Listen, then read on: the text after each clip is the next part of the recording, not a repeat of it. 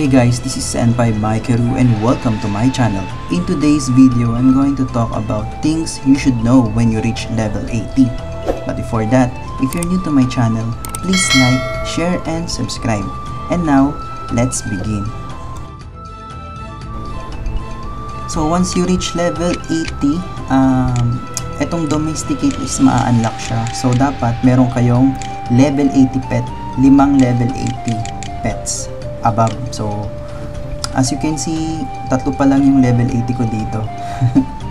Kailangan kasi i-third transfer ko to para mapa-level 80 ko. So second transfer pa lang to mga pet ko.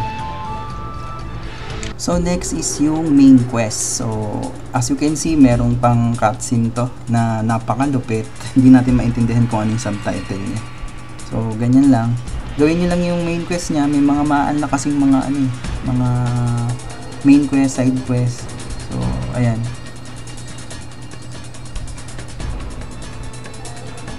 Hindi, hindi ko maintindihan. Ayan, sige.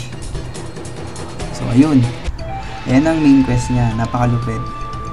So, gawin nyo lang yan. I-continue lang yan. Madali lang naman yan. Saglit lang naman yung main quest. Receive nyo. Dagdag XP. So, third is fourth trans. So, ma-unlock itong fourth trans nyo. So, gawin nyo lang yung mga quest niya. Yan. May mga quest dito na kailangan may team eh. Kasi makunat tong ano. Itong Brewmaster. So, kailangan ng team. So, ang ginawa ko dito, sinolo ko na lang kaya medyo natagalan akong tapusin yan. So after talunin niyo yung after niyo matalo yung brewmaster na yun, so pwede na kayo pumunta dito sa class transfer. So make sure na meron kayong 100 na infernal mission. Yan. So okay na. Nakapag fourth transfer na tayo. So pag fourth transfer na kasi merong bagong ma-unlock na skills. So ito yung skills na na-unlock sa Warlock Evil, sa Evil Evil Warlock. So ito is passive to sa ato sa ano to eh sa rune guards to eh so, mapapa-increase niya yung damage and ano so mapapakunat niya pa so ito naman is yung ano uh, yung parang may wave wave na ano damage din to so maganda rin tong ano na to skills na to so upgrade ko lang i-level up ko lang so sa next video ko tuturo ko sa inyo paano mag-upgrade ng ano skills so as you can see ito yung ano bagong skills ng ano ng Warlock Evil. Ayan, kulay pula. Maganda yan, lakas ng damage.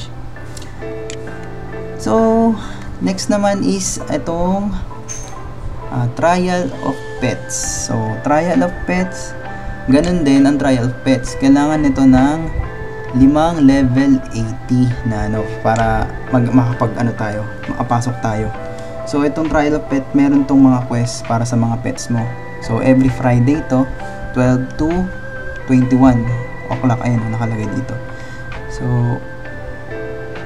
pag ginawa nyo to siguro dag, dagdag ano rin to later on ipakita ko rin yung mga next video ko na about dito sa trial pets so ngayon kailangan ko muna kasing i-upgrade tong ano ko mga pets ko na level ano pa lang level 60 so level 60 pa lang yung ano yung dalawa dito yung feral tiger ko sa snow ape kailangan ko ipa level 80 yan So, gagawin ko muna, i-third trans ko muna sila. Kasi kailangan ko ng magic promotion. Medyo mahal yung magic promotion kasi. So, last is tong ano, Nether Realm of God Domains. God's Domain. So, level 80 din to. Uh, mga kadot kayo dito na to. Itong mga item na to is pwede nyo i-exchange sa redeem. So, ayan, ito. Basahin nyo na lang later. Madali na, madali na lang yan Basta papatay lang kayo ng mga monster dyan tapos may loot. Kaso nga lang, ano, uh, medyo makunat yung mga mobs dyan, mga monster dyan. Tapos yung drops is medyo, ano, medyo matumal ba. Tagal ko nga dito eh. Yan, tingnan nyo, oh. Hmm. Tagalan ako dyan, pero, ayun, XP, okay naman din ang XP niya. Makunat nga lang, tapos medyo, ano nga, mahina, mahina or matumal ang drop talaga. So, kailangan nyo din ng nether token para makapasok sa battle zone. So, ito ang battle zone, nether arena. So, as you can see, may mga channel-channel siya. So, hindi kayo basta-basta makapasok doon kung wala kayong nether token. Ang nether token na kukuha sa mga mobs. So, ang tagal ko nandito, wala akong nakuha ang nether mobs, ay nether, nether token. Ah, pwede naman kayo lumabas, pwede rin kayong bumalik. Depende sa inyo. So, ma- mahaba to, mahaba yung ano niya, yung time niya. So, yun.